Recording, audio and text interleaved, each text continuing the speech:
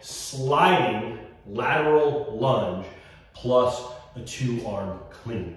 Now I won't go into a full description of the two arm clean. You need to have mastered the two arm clean first before you go ahead and add in the sliding lateral lunge.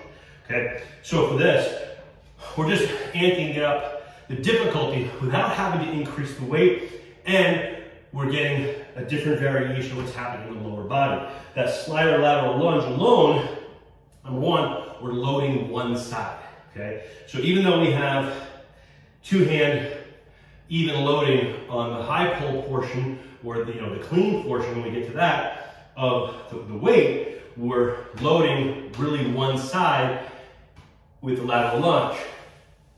Okay, so we're loading this glute and thigh, and then we're getting this inner thigh on the pull in. And then we're combining it with the clean. So definitely got some coordination and complexity going on here. So I also showed like picking up like four range of motion to the floor and down, and then maybe you can't get all the way down, so you'll actually put it down. So let's do that version.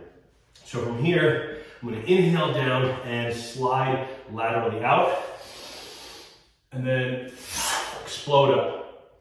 So what's happening is, if I was to just do, say, a lateral lunge with some weight, right? I would use a much heavier weight because I don't have to lift it and pull it up from here, and I slide in, okay, using the thigh, using the glute on this side, inner thigh, pulling that slider in, phenomenal exercise.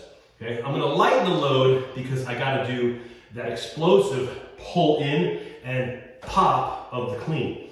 Now, if you've done the regular two arm clean, you know we're choosing a weight that is lighter than what we would do in say a deadlift very variation of an exercise but heavier than what I would do in, say, a high pull, right? I need, and I'm using the momentum from the lower body portion here to pop the weight into the clean, the catch position here.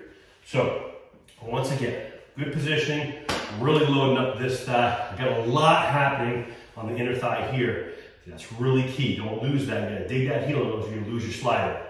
So we go and up.